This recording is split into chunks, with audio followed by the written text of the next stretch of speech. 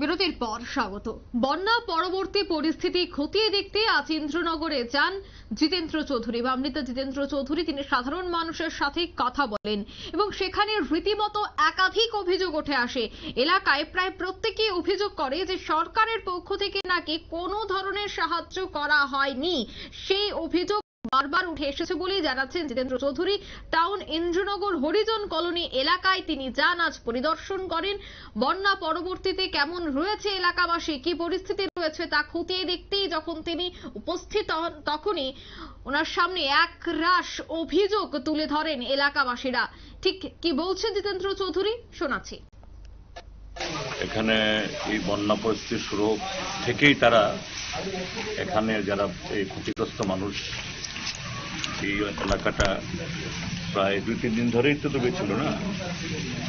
তাদের খাওয়া, পড়া এবং অসুস্থ যারা তাদেরকে সেফ জায়গাতে মানে স্থানান্তর করা, এগুলি সবটাই তারা করেছেন।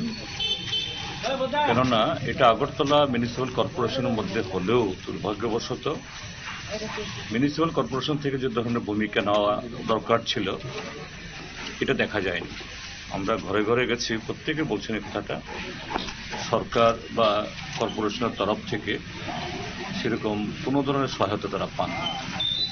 যাই হোক, এখানকার লোকাল অংশের মানুষ এবং আমাদের পার্টির এই মধ্য বনমালীপুর লোকাল কমিটির উদ্যোগে তাদের সেফ জায়গাতে নেয়া, খাওয়ানো পরানোর ব্যবস্থা করা হয়েছে এবং তারা আজকে সাবান, ব্লিচিং পাউডার বিলি করেছেন। এবং একটা স্বাস্থ্য শিবিরও তারা করবেন এখানে।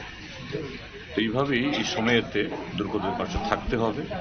আমাদের পার্টি রাজ্যের সর্বত্র, আমাদের সমস্ত ইউনিটকে আমরা বলেছি, এই সময়েতে মানুষের পাশে দাঁড়ানোর জন্য তাদের সাধ্যমতো সমস্ত মানবিক সাহায্য নিয়ে আমাদের তো সেরকম যে অবস্থা নেই যে আমরা সবকিছু করতে পারব।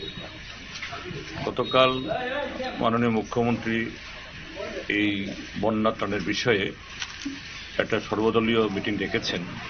তো সেখানে সরকারের তরফ থেকে যে শোনানো হয়েছে, পাঁচ লক্ষাধিক মানুষ ত্রাণ শিবিরে আছে, পাঁচ শতাধিক শিবিরে এই সরি, পাঁচ লক্ষ না মানে পাঁচ শতাধিক শিবিরে এবং সতেরো লক্ষ লোক এরা প্রত্যক্ষ বা পরোক্ষভাবে তারা এই ক্ষতিগ্রস্ত।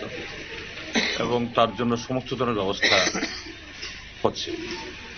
তো আমরা বলেছি যে সরকার প্রাথমিকভাবে যে অ্যাসেস করেছে ক্ষতি ইত্যাদি, এটা এক্ষুনি দুমদাম করে বলা যাওয়া ঠিক নয়। যে এটা ঠিক যে রাজ্যে এবার যে বন্যা হয়েছে, এটা বিগত দিনের যে উনিশশো তিরাশিতে বা তিরানব্বইতে যা হয়েছে তার থেকে ব্যাপকতায় বলা যেতে পারে অনেক বেশি। আগে হয়তো কোনো একটা জেলা, দুটো জেলা, তিনটা জেলা হয়েছে। এখন সারা ত্রিপুরাজ্য ব্যাপী, সবকটা নদীর জল ফুলেছে।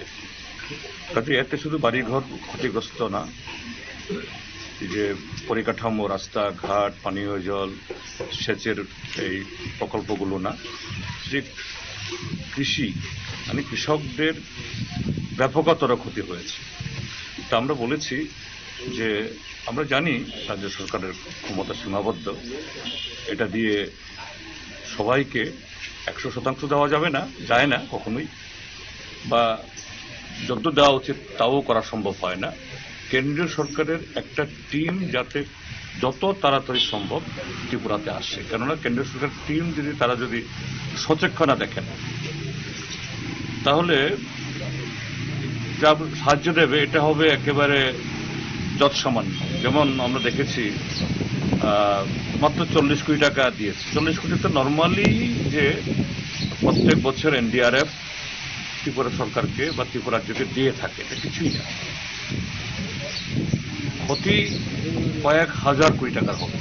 এবং এটা ইমিডিয়েট তৎকালীন যেমন এই ইয়ে দরকার, পদক্ষেপ দরকার, আর দীর্ঘমেয়াদী এই যে রাস্তাঘাট পানীয় জল বিদ্যুৎ সেচ স্কুল বাড়ি বাড়িঘর নষ্ট হলো।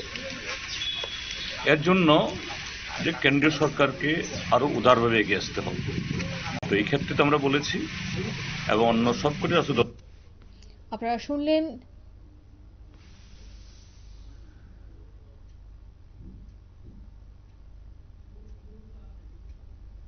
সিপিএমের রাজ্য সম্পাদক জিতেন্দ্র চৌধুরীর বক্তব্য।